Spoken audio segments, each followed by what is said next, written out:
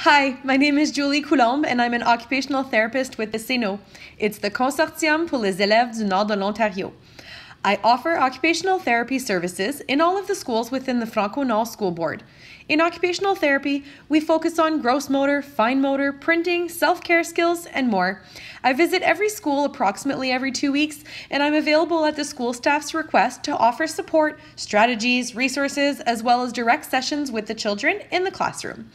When a few children present with similar needs, I may offer small group therapy sessions. I support school staff in order to facilitate ergonomics in the classroom.